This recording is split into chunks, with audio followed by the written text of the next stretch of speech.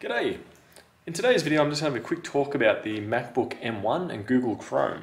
So if you're using that you may have noticed that you might may be getting weird little graphical artifacts. So for example if you just go into Google search and just type in a random topic and click on photos and let's say your images aren't loading up or what I saw was they were loading up as red squares.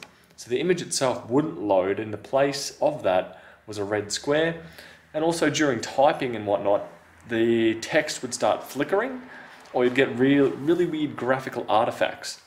Now, if you've got that going on, what you should be able to do is go into settings or preferences, I believe it's called.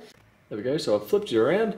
Um, what we should be doing is going up to the search up here, and what we want to do is type in hardware, and what we want to disable is use hardware acceleration when available.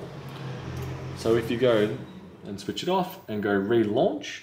That should relaunch Google Chrome.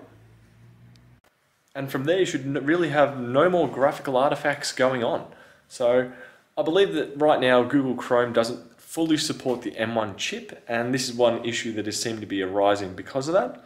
I'm not sure, I can't actually, I didn't actually look in to see which model of M1 this was. I think it was a MacBook Pro M1 and hopefully in the in the meantime, Google Chrome will resolve this issue and hardware acceleration will be fine.